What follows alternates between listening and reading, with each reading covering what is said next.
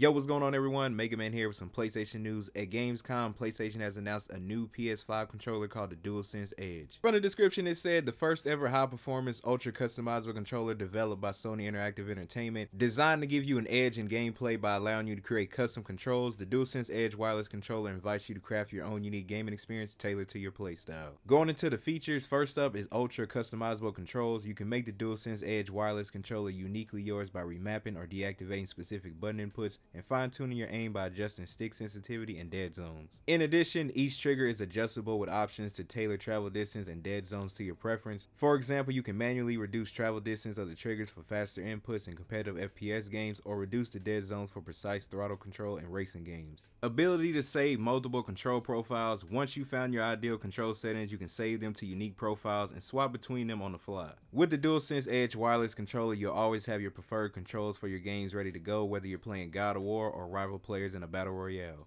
On controller user interface, the dedicated Fn button allows you to easily adjust your setup while staying focused on the in-game action. You can quickly swap between your preset control profiles, adjust game volume and chat balance, and access the controller profile settings menu to set up and test new control iterations while in game. The controller will have changeable stick caps and back buttons, three types of swappable stick buttons, standard, high dome, and low dome, help you stay comfortable in game while maintaining grip and stability. The two swappable sets of back buttons, half dome and lever, can be configured to be any other button input, putting more essential controls at your fingertips. Replaceable stick modules play longer with the ability to fully replace each individual stick module on the controller. Replacement stick modules will be sold separately. Built-in DualSense wireless controller features, the DualSense Edge wireless controller still retains the signature comfort and immersive experience of the DualSense wireless controller when playing supported games, including haptic feedback, adaptive triggers, built-in microphone, motion controls, and more. In addition to the included stick caps and back button sets, the DualSense Edge wireless controller comes with a USB Type-C braided cable. I was expecting that because if you paying more for this, I would assume a cable would be in it because the regular controllers, even though they high too, does not come with a cable.